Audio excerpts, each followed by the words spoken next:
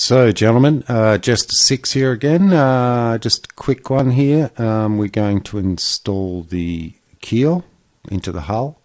Uh, just a temporary fit. See how everything goes. Uh, no silicon, no um, epoxy or anything like that. Serious.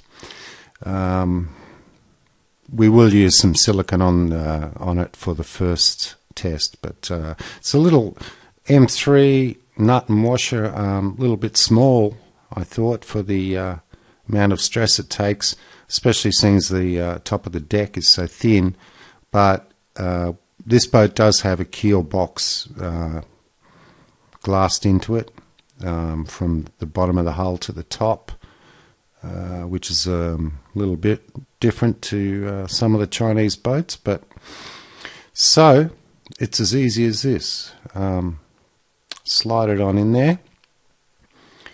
Uh, a little bit of jiggling to get the uh, bolt to line up with the hole in the top of the deck over here and um, just a little bit of jiggling, nothing much, very easy. Uh, and then it um, pops its little head up through there and um, that's about it. We go ahead and put the washer on and the nut. I'm curious, uh, you guys, uh, whether you think I should put a larger washer on there or uh, maybe a, rubber washer or a fiber washer or something.